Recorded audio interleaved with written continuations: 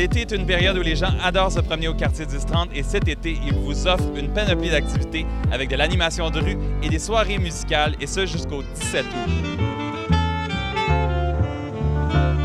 Dans le cadre des sorties 1030, vous avez plusieurs activités de prévues cet été au quartier 1030.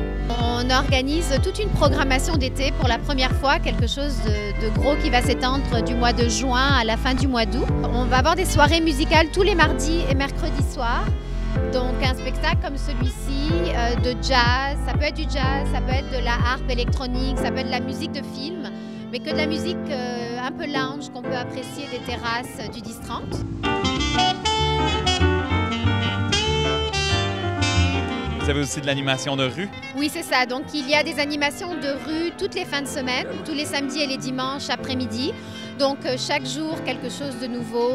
Des jongleurs, du freestyle soccer, euh, une danseuse dans une bulle, euh, vraiment de très, très beaux artistes québécois qui, euh, qu'on a choisi. On a fait une sélection et qui performent euh, toutes les fins de semaine quelque chose de différent.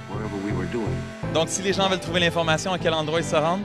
Ils peuvent se rendre sur le site web du quartier 1030. Toute la programmation est affichée. Également sur le Facebook du quartier 1030. Toutes les semaines, on annonce le programme de la semaine. Et aussi se rendre chez n'importe quel marchand euh, sur le quartier 1030. Et puis, ils vont trouver tout le programme papier qu'ils peuvent emporter avec eux.